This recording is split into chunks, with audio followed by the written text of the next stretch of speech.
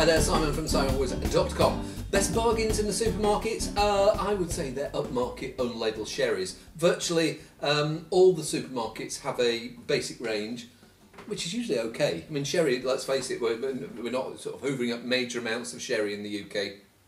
Uh, but a, a lot of them have an upper tier range, and there's some bargains there. Uh, and the one I'm on today is Tesco's finest uh, Amontillado, made for them by Barbadillo.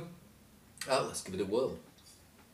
Dense, nutty, bit of barley sugar, and uh, it smells like there's uh, a little bit of toffee in there too. Walnuts, caramel, figs, raisins, cocktail of Christmas cake flavours, if you want to call it that. Smells like it's going to be really good.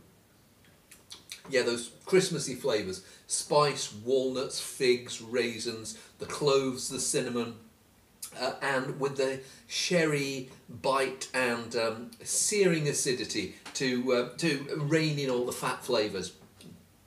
Um, I know there'll be some people who really don't like it, but there'll be other people who sort of go, ooh, oh, ooh, ooh, that's really nice. And this is a sort of wine uh, that, uh, I mean, it's in a half litre bottle. Uh, you can buy half a litre like that. And it's what I call my match of the day wine. Um, I uh, sit there on a Friday, on a Saturday evening, uh, shouting at the television and shouting at Gary Lineker and Alan Hansen, even though he's not with us on Match of the Day anymore from now on. Uh, and um, yeah, I've had, a bottle of wine, shared a bottle of wine over dinner, uh, and I just want a, a, little snifter of something else that I can swirl and uh, and sniff and and sip over the course of an hour and a bit. And this fits the bill perfectly.